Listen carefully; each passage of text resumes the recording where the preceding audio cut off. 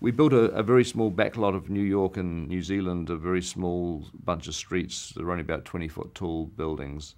And then uh, they were used for all our street level stuff for the actors. And then we would use CG extensions to make the buildings go higher. And then the actual aerial shots where we're flying around the Empire State Building, that all of Manhattan is built in the computer, one, one building at a time. In fact, we didn't e- even have enough time. There's 78,000 buildings there, and we didn't have enough time to have a, a person model each building. It just couldn't have done it. We didn't have enough. Too too many buildings and not enough people.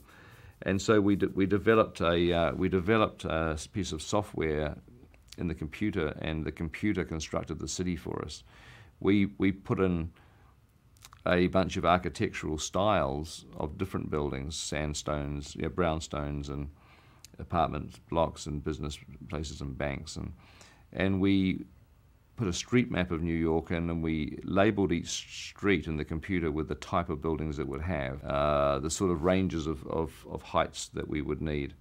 And we literally pressed the button, and the computer program went through and built the city for us.